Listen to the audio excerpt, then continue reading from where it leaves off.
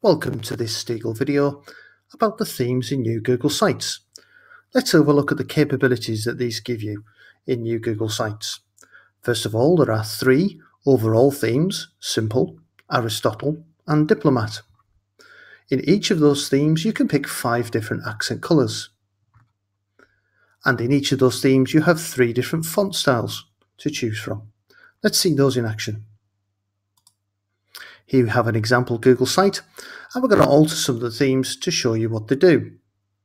As you can see, we've got the themes section opened in the right hand panel and this site at the minute uses the simple theme.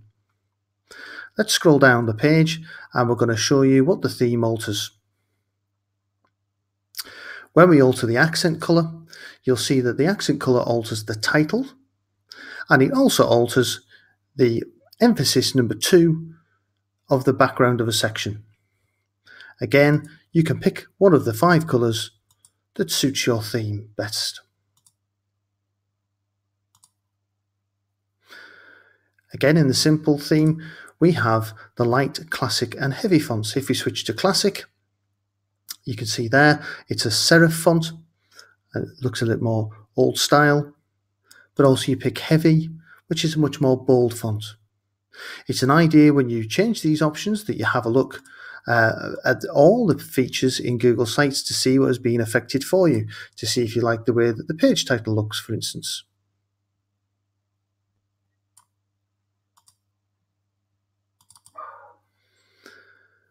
When you can switch to a different theme, so this time we're looking at Aristotle, and again you have different colours, and this time the colours in Aristotle can also alter the other emphasis backgrounds as well. Again, you can pick a theme you like, but in Aristotle, it has slightly different font choices.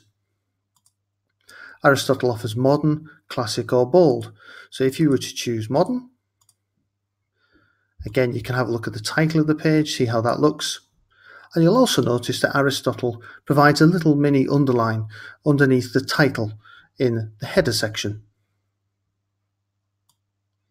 So again, you can go through the various different font styles and options that you have, and you can choose one that suits your site best.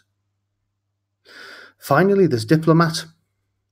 Diplomat offers a border and it's a bit more bigger in size and white space, and it offers a border around your text on your header. Again, you have different accent colors, and this time the accent color actually puts a hue over the header section background. So if you've put your own background image there, it will take on the color, the accent color that you pick. Again, Diplomat offers different styles.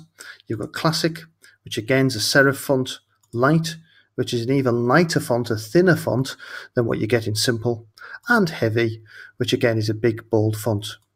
Again, you want to check the various areas on your site to make sure that you can see it's doing what you want with the various titles, headers, and subheaders, and the different emphases on backgrounds in sections. We quite like the, the bold look with Aristotle for this particular site, so we're going to pick that.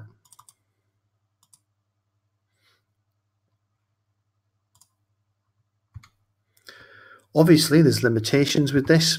There are literally only three themes at the moment, and we hope that Google will extend this in the future. There's also very limited customization on those themes.